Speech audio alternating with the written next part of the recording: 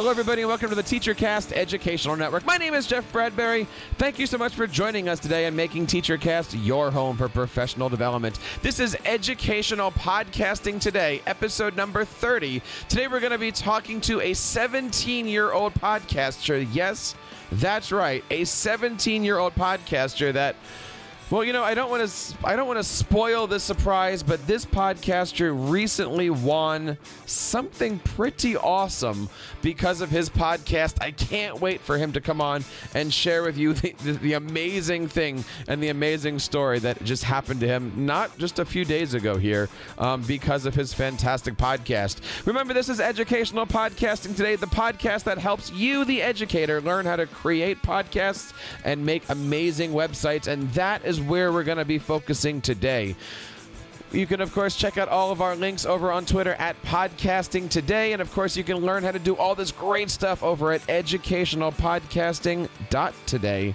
And if you're interested in joining our community, you can come over to educationalpodcasting.tips. We have a very, very active Facebook group of about 400, 500 or so teachers that are all here together to help each other learn about episodes, learn about podcasting. And every week we always have a theme on podcasting or web development or, or, or branding or, or public speaking, anything like that. We want you to join our family of podcasters over at educationalpodcasting.tips. And I hope you guys are having a great start to the school year. I have a student on the line today, a 17 year old podcaster named Noah Tetzner. Noah, how are you today? Welcome to the show.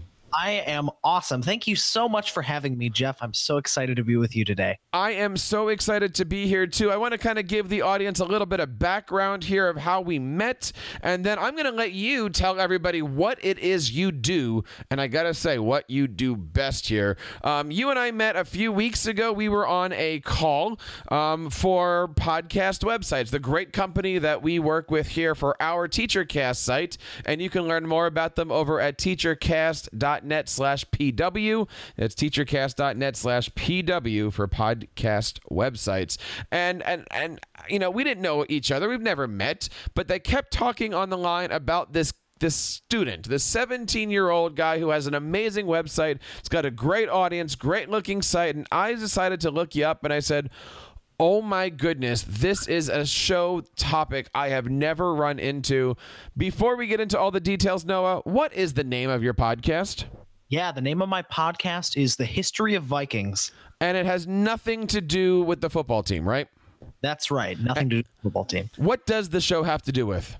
The show every episode features an in depth discussion with a world class Viking Age scholar. So it's very much about history's Vikings and Norse mythology. And I regularly feature professors from Oxford, Harvard, Yale, and uh, every episode is just a discussion about Vikings and, and Norse myth. I think it's a really cool way to sort of bring history to life for people. You know, I got to say, I am not. And, and, look, people have known me for seven years. This is going to be a surprise to many.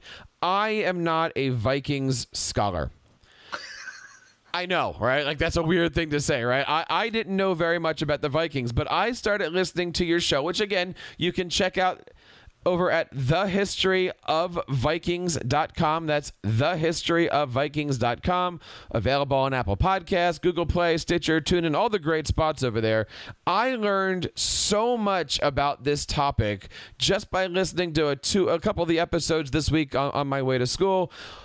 Noah, let's start with the obvious question here. You're 17 years old, you're in high school. What's up with the Vikings? Yeah, I mean, just as far as like, I mean, I've always loved history. That's been uh, probably my biggest passion. I've always been a history buff. Um, and I just, I've always listened to podcasts and I wanted to be able to share my passion for history with the world because uh, here in Green Bay, there's not too many people that I can talk history uh, with. But I started my podcast six months ago, The History of Vikings. And, uh, I just, you know, I think it's a fascinating era of history. Just there's so many misconceptions about who the Vikings actually were. You know, they're painted as sort of these beastly, barbaric figures, when in reality they were explorers, they were wealthy tradesmen, and they, you know, discovered North America, all these exciting things. So I just think they're an absolutely fascinating people. And I'm just so excited to talk to uh, talk about them with people. Now, again, you, you, said you're a history buff. Is this something that you might have been sitting in your history class? You got to chapter 10 and they started talking about Norse mythology, and you said light bulb? Or was this a story that you might have read on your own and you said, light bulb or tell what, what was the, the genesis here of getting interested in this and then what finally made you say there's got to be a podcast yeah, so I've I've just loved all eras of history. Like uh, you know, just every era of history napoleonic world war ii everything. Uh, and actually i'm i'm pretty big into playing like historical strategy uh, video games on the computer and i was playing one particular game uh, and there was some elements of norse mythology in it and i just thought the characters were super fascinating. So i got to doing some research and i read the primary sources for for norse mythology you know these stories of thor and odin and loki and i just thought wow like if I could tell these stories on a podcast, that would be super awesome. So the light bulb went off there. Uh, there was probably like one or two podcasts about Vikings at the time, but uh, like most history podcasts, they were just kind of script read and written. So, like you're listening to an audiobook, which is perfectly fine. But I thought, wow, if I could have discussions with the people who have studied this era of history, what a great way to showcase their scholarly expertise, which so often doesn't isn't given a platform. Uh, so that's kind of the story of how the show was started. Now, when you were reading up on all this Norse mythology, were you shocked to find out that the Infinity Gauntlet in Odin's cave was a fake? yeah, no, it's definitely. I mean, I didn't, I didn't, I knew nothing about it when I first discovered it, but uh, it just, you know, from you know the Marvel movies. That's pretty much all I knew about Thor. Uh, it was just just how different Thor's character is from how he's presented in the Marvel movies, and it was just it was it was a shock, and it was super funny as well. So you you're in high school right now. You're a junior or senior? Senior. Senior right now. So you're looking ahead for college. We'll talk about that in a little bit here. What do your friends think when they say that you're doing a podcast? And what do your friends say when they say, I'm doing this Vikings thing and I'm getting a chance to talk to all these amazing people? Honestly, yeah. I mean, it was kind of an interesting thing when I first started the podcast. Uh, you know, they thought, okay, that's kind of weird. Like, why would anyone, not disrespectfully, they're my friends, but why would anyone, you know, want to listen to something about Vikings? But as the show started to grow and I started to, you know, do these these great interviews and everything else, they kind of went, wow, like Noah kind of has something going on here. And they, you know, a few of them started listening to it, reached out to me, and thought it was super cool. But again, that's just what I love about podcasts podcasting is you can take anything in the world and and talk about it with somebody. In fact, just a little side note, I was somebody reached out to me the other day. He's also 17 and he does a podcast about Rubik's cubes. And I thought, what in the world? How can you do a podcast about Rubik's cubes? Sure enough, I looked it up and it's totally legit. Great podcast. And he interviews like world record breaking speed cubers who are able to solve the Rubik's cube in so many seconds. So I just, that's what I love about podcasting is you can take something so niche and just create a beautiful show out of it. Well, you know, our last episode, episode 29, we, we had a fantastic podcaster on, Maria Alcoke, and she talked about building a niche for her show. And her show is called the Engine Mom Podcast, and she does a show to really talk to women and empower them to do amazing things in their life and in their career. Your show is is very similar, right? If I, I went onto iTunes, sorry, I went onto Apple Podcasts, and I did a search for Vikings, and I, don't think I saw more than one podcast that was dedicated to Norse mythology here. Um, you, you know, when they're when you say to start a show, find that taproot, dig into it, build it. And today I want to talk a little bit about that audience that you have. How did you find an audience that is interested, or was that not a care for you? Did you just start the show and say, I want to have fun with this? We'll see what happens?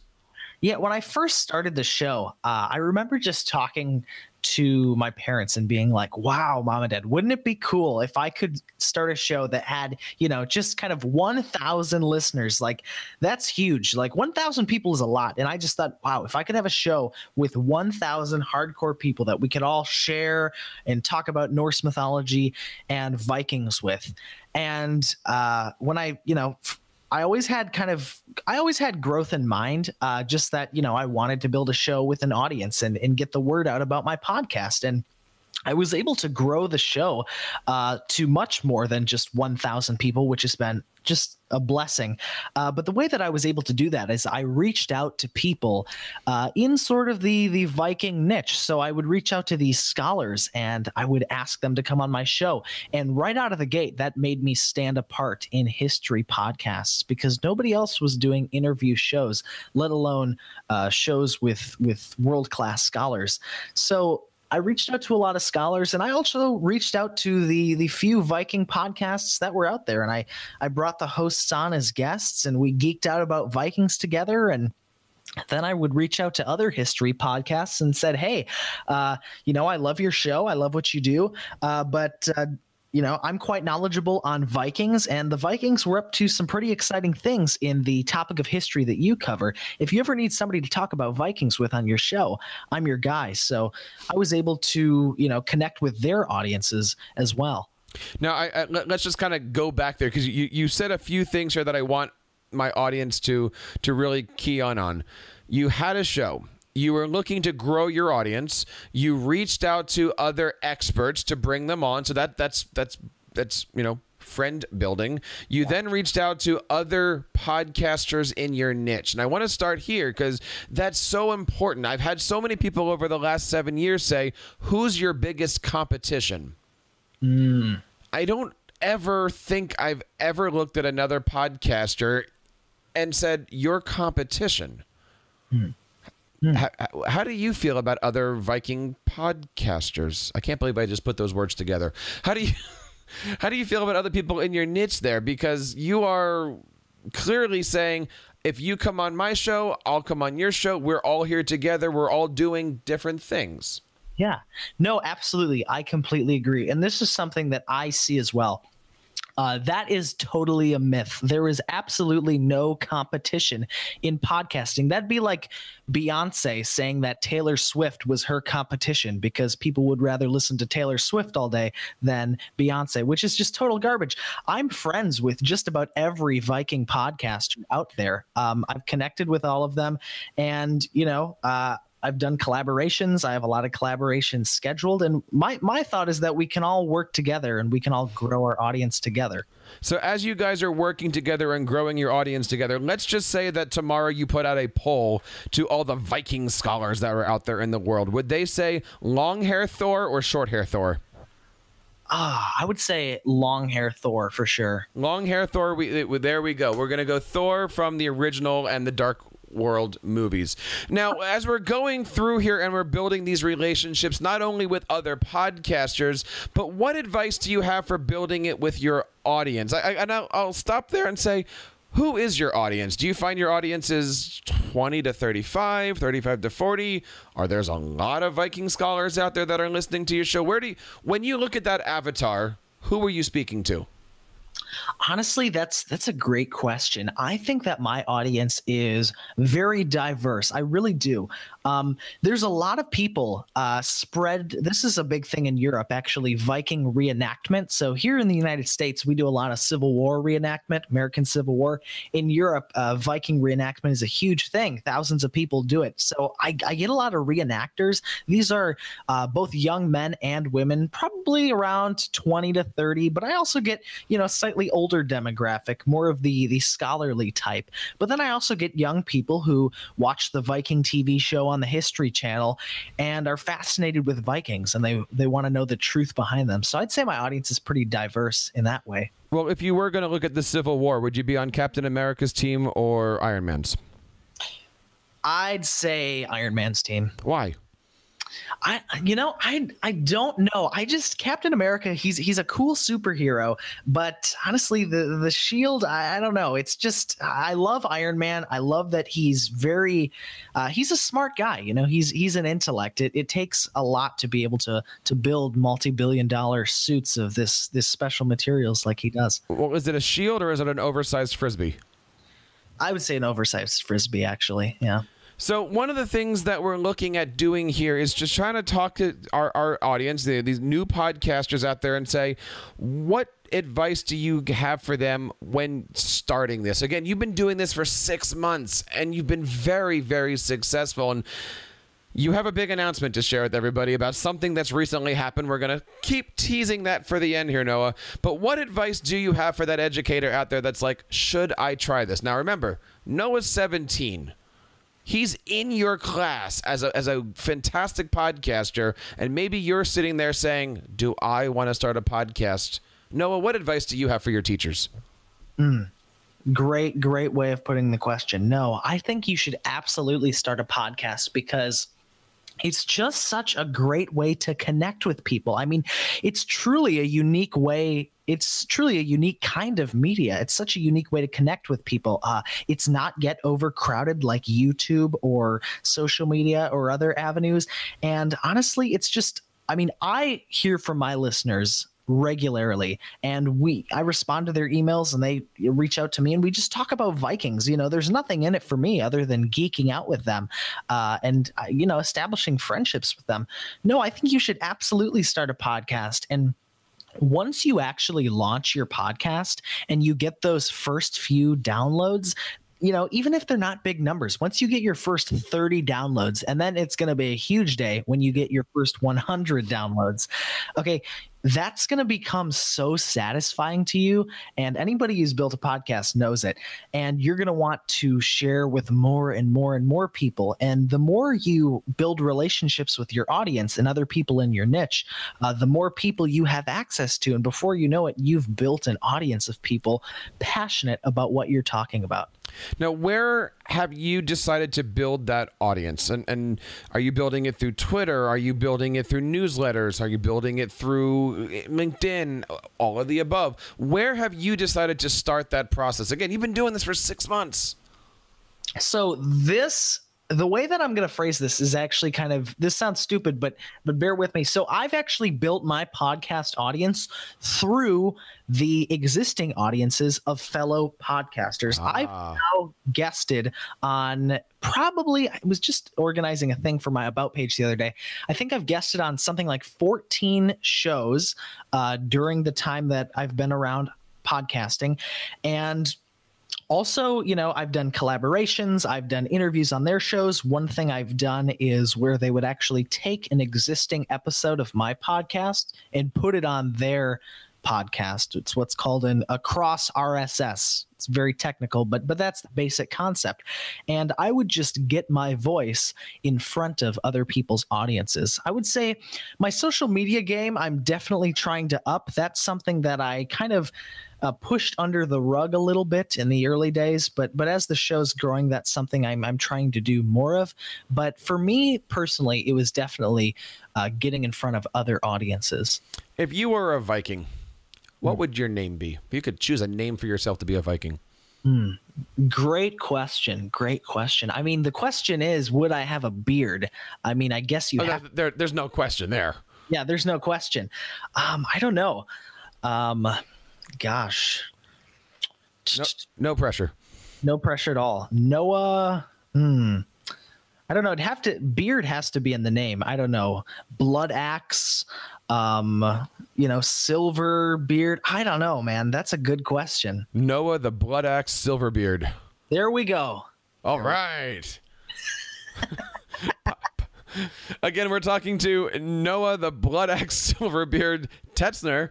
Um, you can find out more information about him over at thehistoryofvikings.com. Um, let's take a look at your show here, Noah. How long is the traditional episode, and why did you choose to make that the uh, the, the length of a podcast?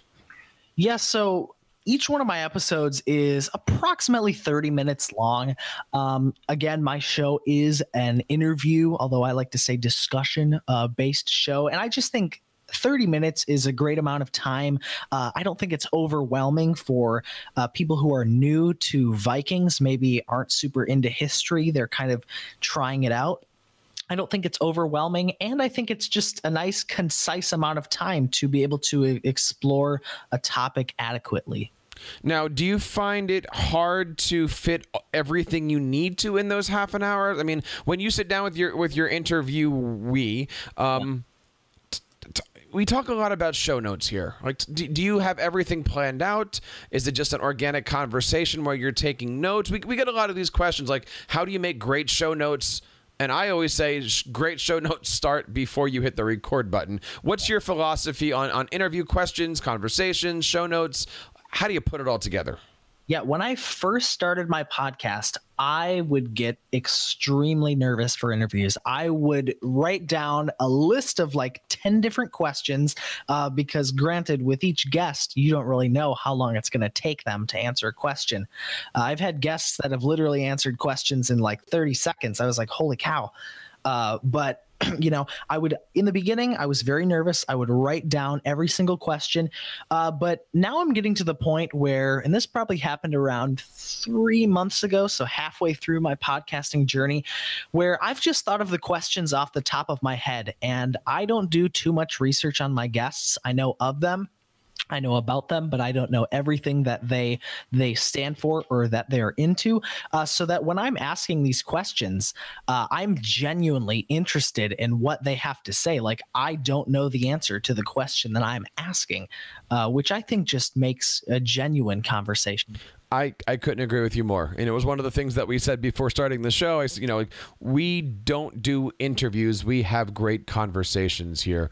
And you never know what the questions are going to come up. You never know what the answers are going to be. For instance, Noah, somebody might say to you something like, if you had to choose a half brother, would you choose Thor or Loki and why? Mm. You know, I would choose Loki as my half brother, and I would say because you know Loki is often pres- if I'm going with the Loki from Norse mythology, Loki is often portrayed as somebody who is just super evil, like just nasty and evil, but in Norse mythology, you know, Loki's very much a trickster. He's very cunning, and a lot of his his schemes are evil, but he also ends up, you know, getting the gods out of a lot of trouble because he's very witty. So I think he could be a, a good guy to have around if you uh, know him well enough. Is there anything in any of the history books about Thor, the god of thunder, falling in love with Queen Amidala of the Naboo, of course? Yeah, not that I've seen yet. I mean, I don't know. We're doing more excavations every day, so you never know. You've only been doing this for six months. I I, I totally get that there. Um, Let's go. You, you don't mind these questions, I hope, do you?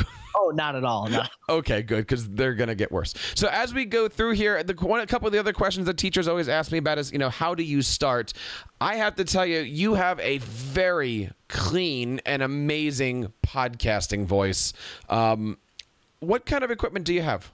So I use a Heil PR40 microphone. Mm and it is connected to a Mackie mixer. Granted, this Mackie mixer was purchased over two years ago when I had no idea what I was doing.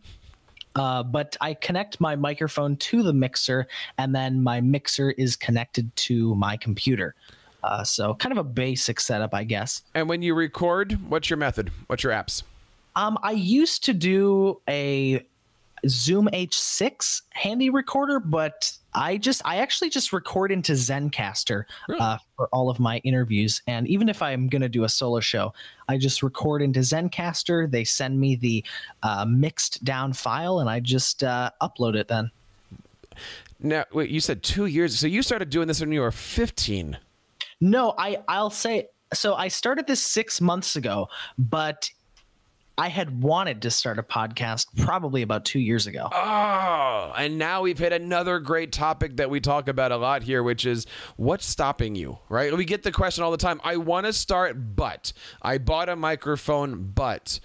Um, what made you wait or what what made you take a year and a half two years whatever it was to actually get launched here were you just trying a topic or were you just not sure or did you do a couple shows and then just never release it and then you launched yeah, I honestly, it was definitely a lot of, and this is one thing I run into a lot is a lot of people f- think I have to have the perfect concept for a show, and that was very much me. Uh, I have to have just this brilliant concept. I have to have awesome content, uh, as well as some imposter syndrome. You know, I'd, I'd find, oh, this I could totally do a podcast about this, but then I'd sit down to start writing down ideas, and then I'd be like, what? I, I you know, start to doubt myself. Uh, but when I started, when I finally started the Viking podcast, it was just, you know, I kind of hit rock bottom in terms of just being frustrated. I finally wanted to launch a show. Uh, I didn't know that it would be an interview show when I first started. In my first three episodes were actually me talking into a microphone by myself, reading a script that I had written about certain topics in Viking history. Uh, but then I reached out to a bunch of guests that I wanted to have on the show, and honestly, I barely got any no's. So it was turned into an interview show then. That's a pretty amazing story. Are you finding that because of your podcast, your I, I, I want to make sure I get the right question here for you, Noah, because I, I want to relate this back to school, right? Are you finding that you are are you taking school differently at all because of podcasting? I mean, you're 17, but you're interacting with so many adults of such a high caliber. Is that changing anything about you at school and maybe relationships with teachers, administrators, or is there any correlation that we can talk about between your podcast and your schoolwork? Yeah, sure. So I actually am at the moment homeschooled. Uh, I had been homeschooled in my younger years of childhood, but then I did go to school for a few years and went back to homeschooling probably about a year ago. Um, I started my podcast six months ago, so I had been homeschooling at that point. Um, so it's it's been nice to be able to focus on certain things. Uh, granted, I still do you know structured curriculum and everything else, but it's it's opened up more time to focus on the podcast. So being homeschooled, that means mom or dad was your instructor, or you had tutors. That's right. Yeah, my my parents would have been my instructors. So with that kind of mindset here, if you had a parent as your mentor, as your teacher, and let's just say that that parent was Hannibal the cannibal. Would you rather be Thor or would you rather be Loki if you were to get taught from Hannibal? Hmm. I would definitely say Thor because you know Thor is definitely the god of strength, uh, the strongest of all the gods, and man, that hammer can do some serious damage. So, w- would you put the hammer down? I would put the hammer down. Now, as we're going through here, you know, we're looking at this whole concept of audience building. Where do you see yourself? And again, you've got some awesome news to share. We're going to keep teasing that because I know where you're going to go with your show. But where do you see yourself going in the next six months as you turn that corner to complete the year? Where do you want to see the History of Vikings podcast? Ah, oh, that's such a good question.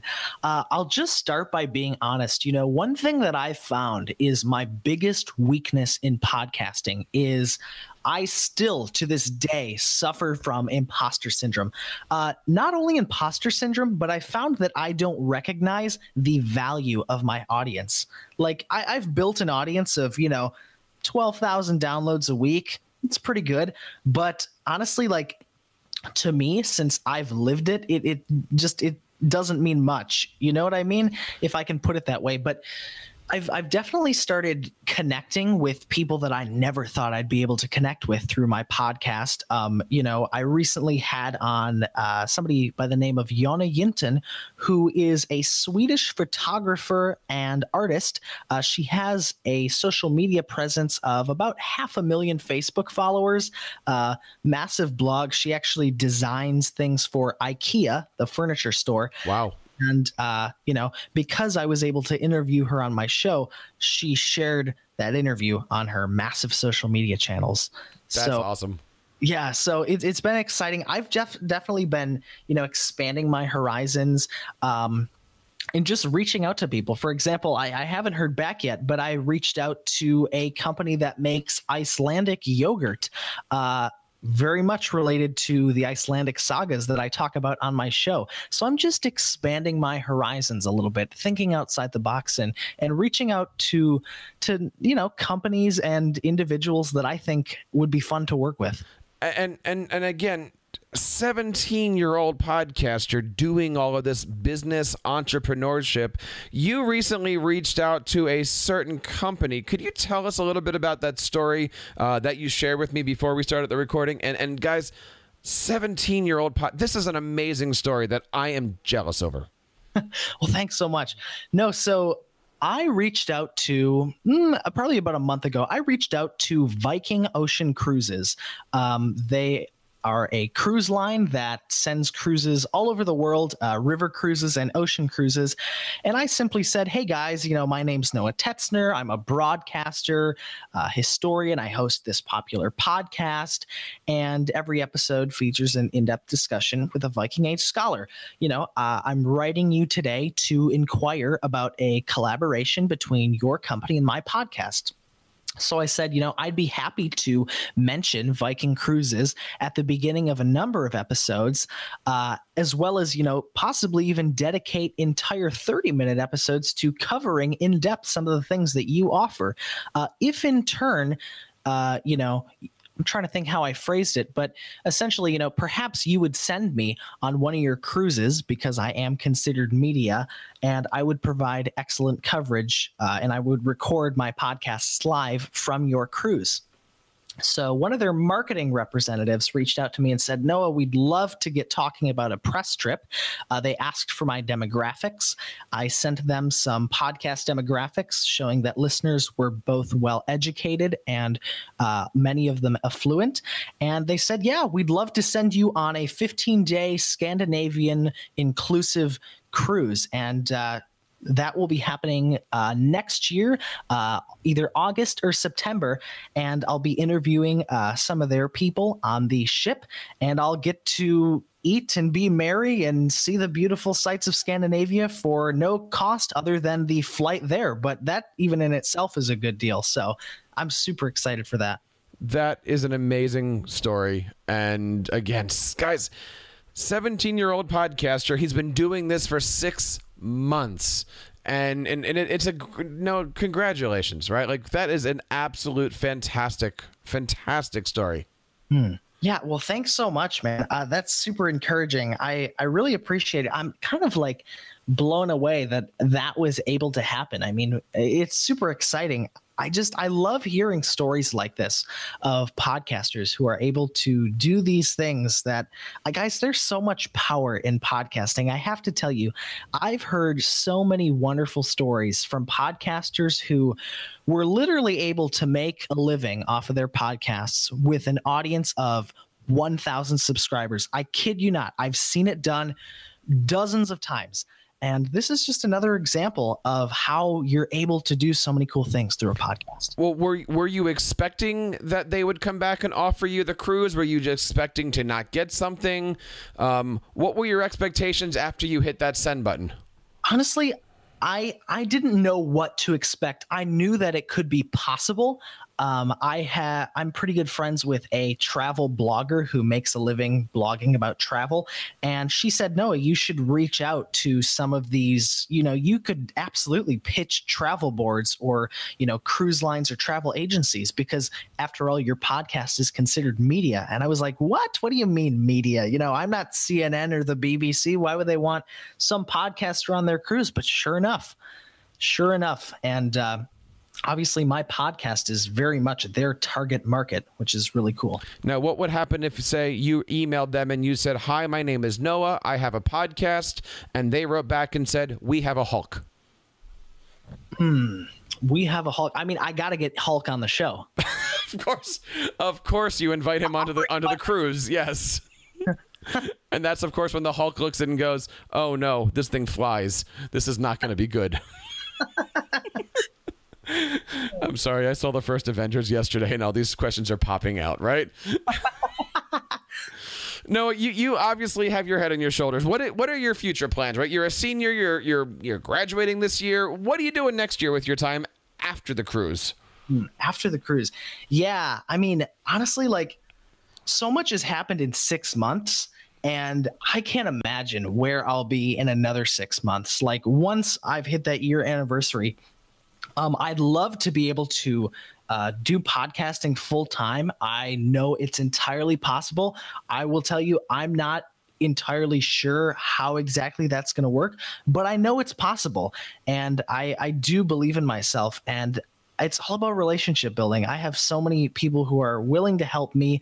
And yeah, no, like I want to be a podcaster. I don't know if that's just history podcasting. I don't know if it's production of some sort. I don't know, but we'll see how it goes and we'll see what the future holds. Let's say that I was also a Viking expert and I wanted to be on your show. Where would I go to find more information and how do I get in touch with you to say, Noah, take me on that cruise?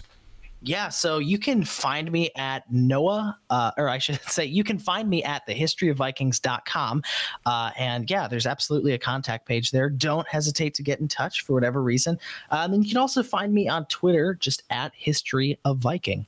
Now, I, I want to hit one more topic here because, again, we met because we both have some mutual friends here. Your website and my website are both created with a fantastic company called Podcast Websites, which, again, is teachercast.net slash pw you can check out all the information there they have a fantastic platform talk to us a little bit about your website and also working with the guys over at podcast website to create a fantastic platform to get you those 12,000 downloads a week and a cruise.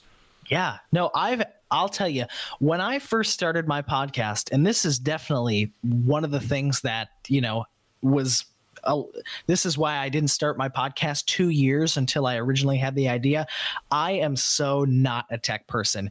Uh, I remember when I started my podcast, it literally took me three hours just to figure out how to hear myself in my headphones. Um, I absolutely was oblivious when it came to web design, but I found podcast websites and they said, you know, we will design your website for you and link your podcast to our website and we'll do everything for you and work closely with you. And my experience with podcast websites has been wonderful. Not only have they made a great website for me but anytime i want to make a change on the website they're happy to help. And honestly they're just great people. There's a great community over through podcast websites the podcast success academy that has monthly mastermind sessions where you can talk with other podcasters that are in your shoes you can uh, share your successes, your, you know, possibly, you know, you just, you, you get to talking with people and it makes you feel like you're not alone, which I think is so important. And, you know, again, if you're talking about growing your audience, I have been able to do so many things far beyond where I was before. I've been with podcast websites now. We launched it in the spring, March, February, somewhere in there. TeacherCast has grown by leaps and bounds because of the website. And obviously, your website is getting you. I'm going to just say it one more time, dude. You got a cruise out of your website. Good for you, right? Yeah. Um, what what last words of advice do you have here for anybody that's like I want to try it but I'm not sure or I have a topic will anybody listen hmm. Absolutely. Uh, number one, I think people will absolutely listen to your topic. Uh, if you're interested in something uh, in this world of close to 8 billion people, you can bet your bottom dollar that there are podcast listeners ready to hit that subscribe button on whatever your topic may be. And don't ever feel like you're alone. There are people out there who are happy to share advice for your podcast. And honestly you podcast website is, is just one of those excellent tools uh, to help you get your podcast up and running. And the trick is just launching. Uh, you have to take risks in life but i honestly don't even think podcasting is a risk. What have you got to lose? Uh, it's very low cost. And once you've built this podcast you know you can connect with so many people which is just incredible. So i would say just just start your podcast you know and once you're in it, you will have not regretted it. And, and not just connecting with amazing people, but someday you might find yourself on a spaceship with a talking raccoon and a tree. Absolutely. What Absolutely. would you, what would you say to them if you had Rocket Raccoon on your show? If I had Rocket Raccoon on my show, honestly, I mean, hmm, I would have to maybe do an episode about Viking combat techniques. I mean, this little raccoon is just a ninja in his own right. Uh, how he's able to move with such speed and agility and and kill all these aliens. I don't know. All right, I'll, I'll ask you one more serious question here. If you were on a Viking ship, on a Viking cruise, let's just put it that way, and you had to choose a captain of said cruise, would it be Nick Fury or Gandalf? Gandalf, hands down. Why? Uh, Gandalf's a wizard. Uh, he clearly can do magical things to enhance the experience upon the cruise, whether that be his excellent fireworks or, you know, I don't know, levitating the cruise, allowing it to fly. I don't know. But uh, I just see a, a really fun time with Gandalf. Uh, no, I'm having way too much fun with you today. Thank you so much for coming on the show today. Please invite yourself back on. Maybe we can have a show someday about websites or, or podcast development. But Noah, look, I, I, wish you all the best in what you're doing here. 17 years old, six six six months into this, a, a fantastic homeschooled student. Noah, the history of podcast. Sorry. that's another show we're doing. The history of Vikings.com. Um, Noah Tetzner, thank you so much for being a guest on our show today. Thank you so much for having me, Jeff. It's been an absolute honor to join you, and I wish you all the best as well. And uh, thank you guys so much for listening. I wish you all of the best, and I hope that you will start a podcast very soon. And I certainly hope that you guys do too. If you're looking to start your own show or learning more about podcasting, you can go over to educationalpodcasting.today. And of course, if you want to uh, find us on Twitter, you can do so at Podcasting Today. We've got a fantastic podcasting community, which Noah will be a part of of soon. You can reach out to him over there over at educationalpodcasting.tips. That's educationalpodcasting.tips. And we want to have you guys on the show. If you've got a great podcast, please leave us a voice message over at teachercast.net slash voicemail or email us at feedback at teachercast.net. Tell us a little bit about your show and what you're up to. I would love to feature you guys on the show, that just like we've had for the last 30 episodes. We, of course, we want to say thank you guys for making TeacherCast your home for professional development. And until next time, my name is Jeff Bradbury, reminding you to keep up the great work in your classroom and continue sharing your passions with your students.